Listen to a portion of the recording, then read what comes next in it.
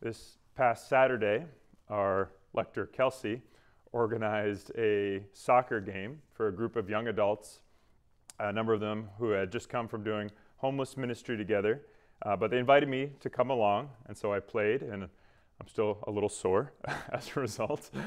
Um, but beautiful thing about soccer and a lot of team sports is that you know different people have different gifts and talents and abilities, um, and so they do better at different positions on the field, whether as the goalie or on defense or offense and midfields. Uh, different gifts and abilities in different positions, but all playing on the same team. Today we celebrate the feasts of St. Peter and St. Paul, who were very different men in their personalities and in their gifts and talents, but they were united as one uh, on the team for Christ, serving him uh, and his church. Perhaps Peter, St. Peter, is more like the goalie on defense, um, you know, nothing getting past him. His confession of faith is on which the rock on which our church is built, as we heard in the gospel today. And so, keeping us close to Christ through that confession of faith, keeping us free from error or heresy or wandering far from Christ.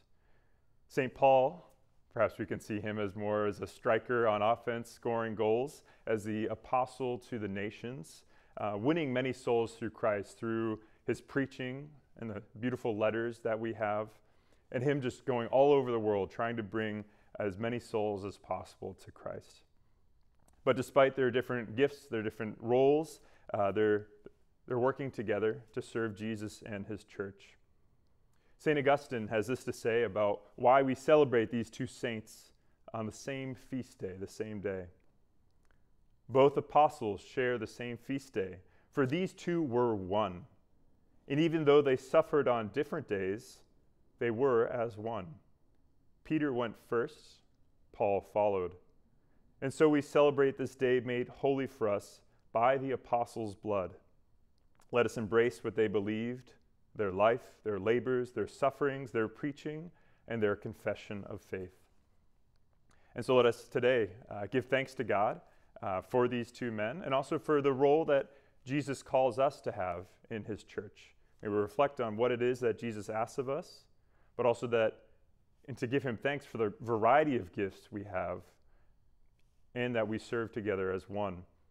Not just by the apostles' blood, the martyrs' blood, which unites them as brothers, but the blood of Jesus Christ himself. We're made one through sharing of the Eucharist, made members of one body of Christ, and it's his, his blood that courses within each one of us. So let us celebrate this great feast day, celebrating the diversity of gifts that God gives his church, and give him thanks and praise that we might be able to serve him together united as one.